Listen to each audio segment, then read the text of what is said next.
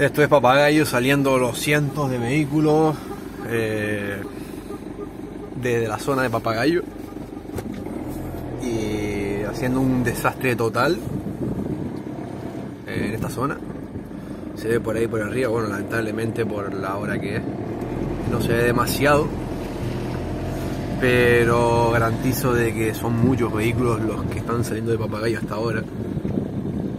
Eh, después, evidentemente, de las 10 de la noche, son cerca de las 11 de la noche aproximadamente. Pues todos estos vehículos saliendo al mismo tiempo, incumpliendo la norma del toque de queda, por orden de la policía local de Yaiza. A ver dónde metemos a estas horas de la noche tantísimas autocaravanas en Playa Blanca. No creo que les parezca bonito al pueblo de Playa Blanca, pero es lo que hay, lo que nos obligan y lo que toca. Y esperemos que no pase nada, eh, sobre todo a la gente que pues eh, que haya bebido y que estén obligados a coger el vehículo ahora mismo. Así que nada, eh, recemos y esperemos que todo salga bien.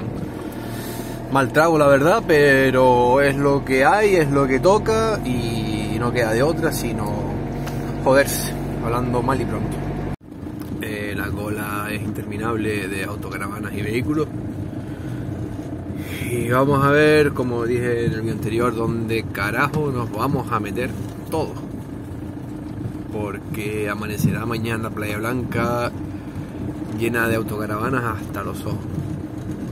Madre mía, la cola que hay. Y bueno, y lo que está detrás de mí, pues más de lo mismo.